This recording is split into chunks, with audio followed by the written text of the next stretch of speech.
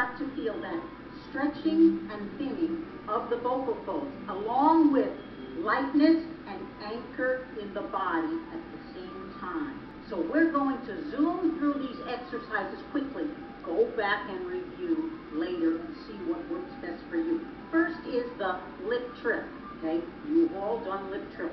I want you to start low, go all the way up, and come back down and be focused on the different sensations as you ascend and descend, like this. Here we go, we're going to do it twice.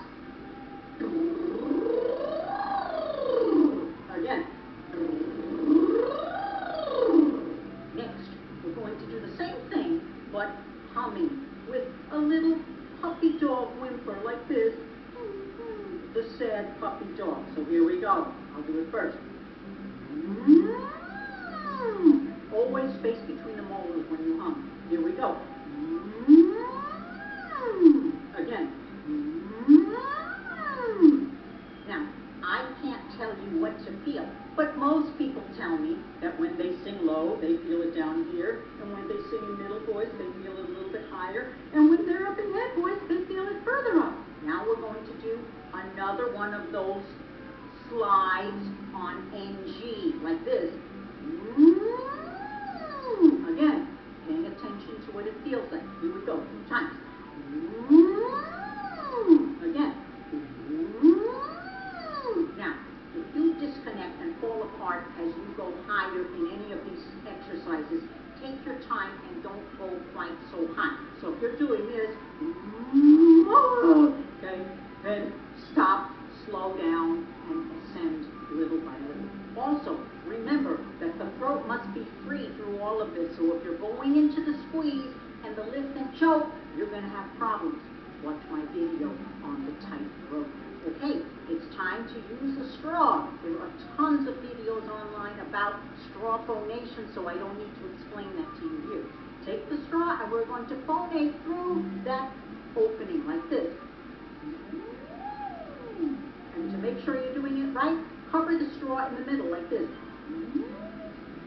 If no sound comes out, you're doing it right. Again, we're getting that stretching and thinning with the right amount of airflow and air pressure. So far, I've given four non-singing exercises. Now, we are ready to apply them to a vowel. So, we're going to do an ascending, descending siren on Mm, like this. Men and women, here we go. Again. Great. It helps to keep your mouth small. If you spread open your mouth, you will likely spread your tone and get breathy. Now let's do it on oo. Make sure you feel that stretching and thinning and feel that lightening as you go higher. Ooh! Here we go. Ooh! Again. Ooh! So let's do it on Q. For a lot of people, Q works because it gives them a bit of arch in the soft palate. So I'll do it first. Q. Here we go, two times. Q. Q. Great. If you have trouble with the E and U vowels, make sure to watch my videos that are on E and U.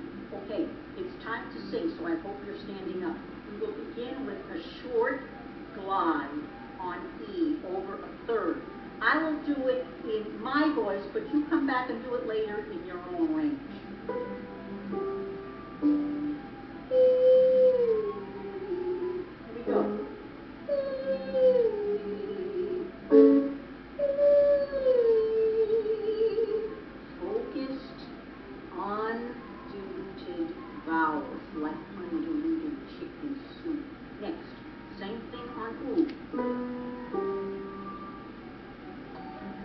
So let's say you have to read an incredibly long email from your boss that you have to finish before the big meeting starts.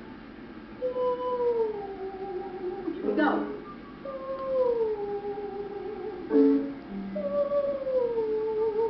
Make sure you feel that lightness and anchor in the body. You know, it takes support to make these kinds of focused tones. Next, same thing on cue.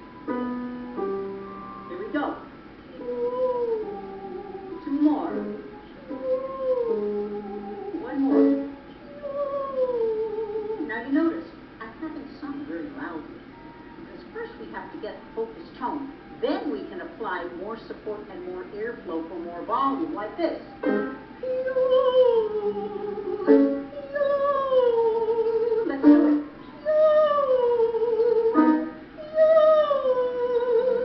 Now we will move on to more advanced exercises. We're going to start with staccato onsets to sustain.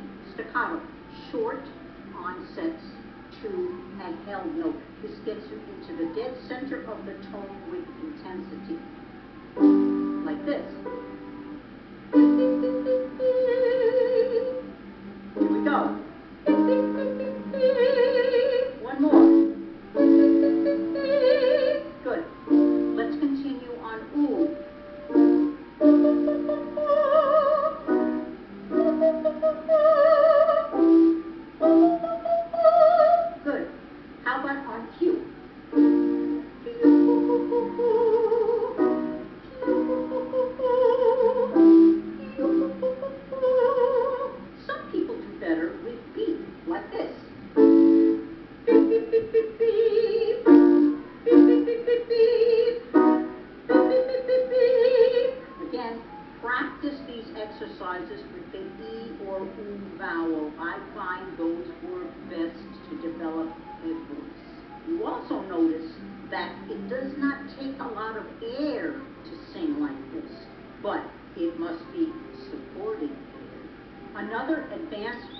Exercise is we are going to do octave leaps. Chest voice on the bottom and head voice on the top, like this.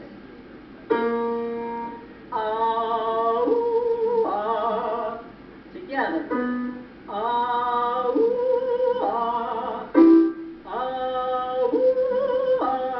You know, in a lot of popular music, they have that kind of a yodel. Do it without the yodel. It just means that you will be a little lighter on the bottom, like this. Ah, ooh, ah. Here we go. Ooh, ooh. Now I'm going to apply these types of exercises to songs that most of you will recognize. And I will show you how to do it so you can